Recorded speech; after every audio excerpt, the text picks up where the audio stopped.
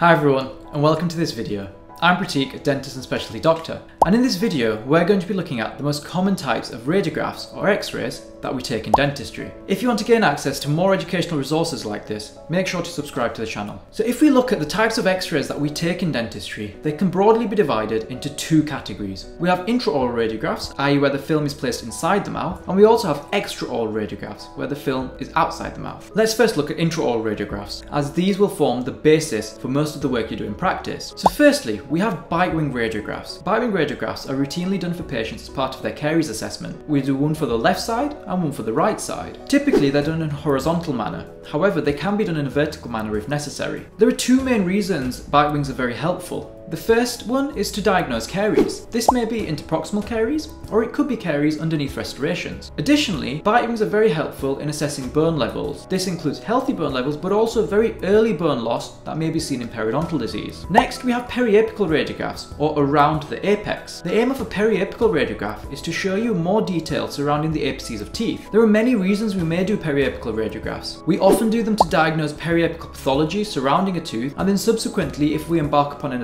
endodontic treatment, we often use periapical radiographs to assess our endodontic treatment. Aside from endodontic treatment, periapical radiographs are helpful in a number of other areas. In patients with periodontal disease, periapical radiographs help us assess the bone levels in more moderate to severe bone loss cases. Additionally, we can use periapical radiographs in order to localize ectopic teeth, and this would be done using a parallax technique. Finally, periapical radiographs can also be very helpful if we are looking at the root morphology prior to extracting a tooth. This is particularly useful with third molar teeth. Next, we have occlusal radiographs, in which case we can have a maxillary or an upper occlusal, or we can have a mandibular or a lower occlusal. For an occlusal radiograph, the patient will usually have the film between their teeth, so they will bite down and the film will be in a horizontal place. We can use occlusal views for a range of reasons. Some of these include localizing ectopic teeth or impacted teeth, identifying salivary calculi, for example in the submandibular gland we may do a lower occlusal. They can also be helpful to identify foreign bodies or other pathology within the jaw, for example cysts. Because the patient places the film between their teeth, occlusals can be quite useful in patients who have trismus. So there we've looked at the intraoral radiographs. That includes bite wing radiographs, periapical radiographs,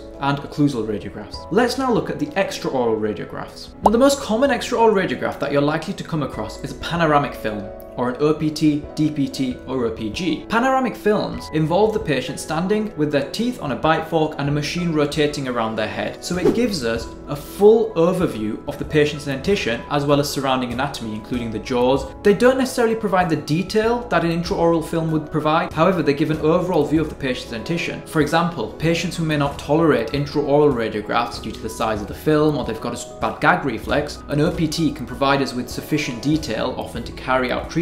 However, OPTs are particularly useful in assessment of third molars prior to extraction in order to look at the interaction between the wisdom tooth and the inferior alveolar nerve. OPTs are also very useful in order to assess fractures of the mandible as well as other pathologies such as cysts. An advantage with OPT is often a lot of the new machines will allow you to do sectional OPT so you could do a left, you could do a right view, you could just get the TMJs or you could cut the TMJs off. This is quite helpful when we consider the radiation dose being exposed to the patient. The impact on the parotid glands is larger than other surrounding structures and therefore if you can avoid exposing them to radiation, this is a benefit to the patient. I will be doing a separate video looking at the anatomy of an OPT so that you'll feel more comfortable interpreting the imaging. Next we have oblique lateral films. Oblique lateral films can be useful particularly in children in order to help with diagnosis where they can't tolerate an intraoral film. An oblique lateral would usually involve the child being sat at 90 degrees on their chair with their face put against a sensor. Then we have the beam coming at an angle, obliquely, to their jaw. This will then ideally capture both sides in terms of the posterior teeth. Along with assessing things like caries, oblique laterals can be used to identify other jaw pathology and unerupted teeth. Next we have posteroanterior films, or PA films.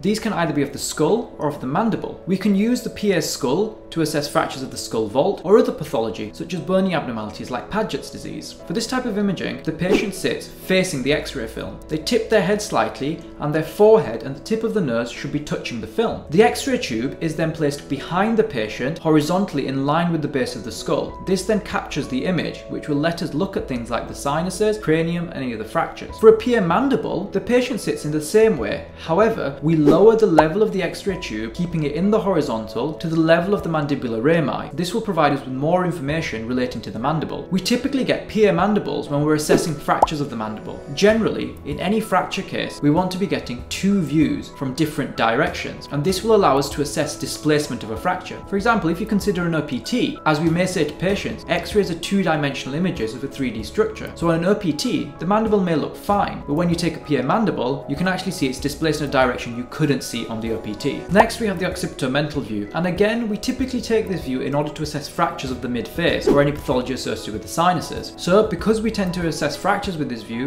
we tend to take two different views at different angles. To take the occipitomental view, the patient will be facing the image receptor. Rather than having their head tilted forwards, they'll be tilted backwards such that their chin touches the image receptor. We then line up the X-ray tube at a horizontal to the occiput behind them. This will then capture the OM 0 degrees view. Then, in order to take another view, we would simply move the X-ray beam to a certain angle, typically something like 30 degrees to the horizontal, and so the beam would be coming at a higher angle and we get a slightly different view. We can then look at these two views and this will help us identify any fractures and any displacement. And finally, we have cephalometric imaging or lateral cephs. These are taken using a special machine called a cephalostat. Lateral cephs are mainly used in orthodontic treatment planning and progression of treatment. You could take lateral cephs along the patient's journey and compare their initial imaging to their final imaging to see the change that has occurred. There is other imaging such as CT scans and CBCT scans which I won't be touching on in this video. My recommendation of this video is an extremely important and helpful textbook that you can get and this is the Essentials of Dental Radiography and Radiology that's now in its 6th edition. This is probably the only book you need to learn about imaging within dentistry. If you did find this video useful, please make sure to share it with others and let me know of any other topics that you would like me to cover. Until the next video, take care.